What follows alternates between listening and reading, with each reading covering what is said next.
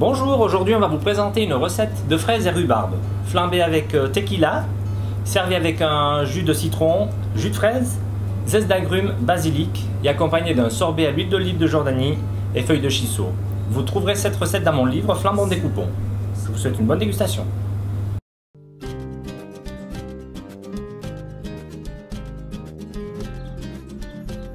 On verse l'huile d'olive, ensuite on saupoudre le fond de la poêle avec le sucre, et une fois que la poêle est bien chaude, on ajoute les rhubarbes d'abord, qui sont plus longues à cuire, et ensuite les fraises. On verse la tequila et on fait flamber.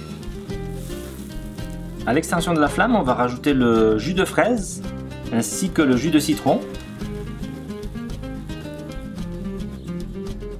On arrose les fraises légèrement et on les sort aussitôt pour leur garder une texture bien croquante. On continue avec le basilic les zestes d'agrumes, on va poivrer, saler et on rectifie avec le sucre en poudre.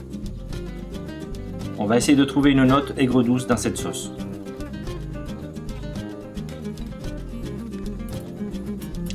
Pendant que notre sauce réduit, on va poivrer et saler les fraises directement dessus.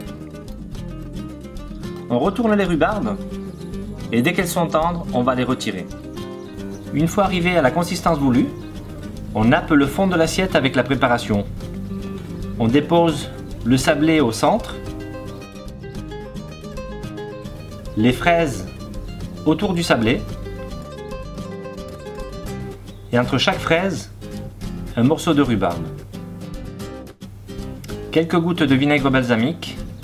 Ensuite, les galliums, on les pose sur les fraises. Le sorbet sur le sablé et on finit la décoration avec la chips de rhubarbe.